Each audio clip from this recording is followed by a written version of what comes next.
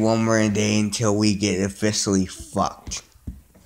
Today it marks December the 8th today, but well, they're not gonna fuck up no one's Sunday.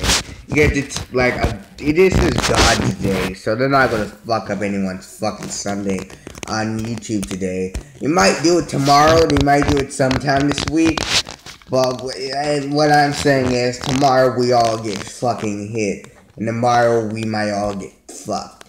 So by tomorrow's day or midnight tonight, we all might get fucked.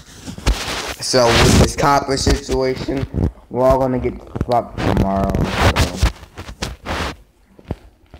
So we all might get fucked tomorrow. So we're gonna see if it, if something happens tomorrow where my channel gets copyrighted or some shit, and it happens.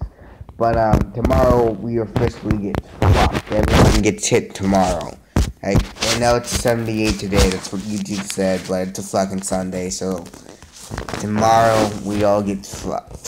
So remember to like, comment, subscribe, and let's see what happens tomorrow. Bye.